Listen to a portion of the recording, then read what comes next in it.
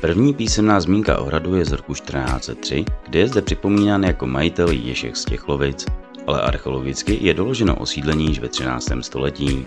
V roce 1415 ho koupil pan Zikmund Děčínský z Vandenberga, ale nesídlil zde. V roce 1425 je hrad uváděn v držení Mikuláše z Lobkovic, ale už o dva roky později patřil Anešce ze Štemberka, druhé manželce Zikmunda z Vandenberga. V roce 1444 tak pravděpodobně dobylo vojsko Lužického šestiměstí. Ještě v roce 1504 se uvádí jako centrum panství, ale roku 1515 už byl pustý. Z hradu se dochovaly pouze zbytky zdí obvodového opevnění a pozůstatky hradu dnes jsou chráněny jako kulturní památka. Za hradu je krásný výhled do údolí Labe a pod hradem se nachází zbytky hospodářských budov, kde je pamětní kniha kde si můžete přečíst i další pověsti o hradu Krabinci a jeho You.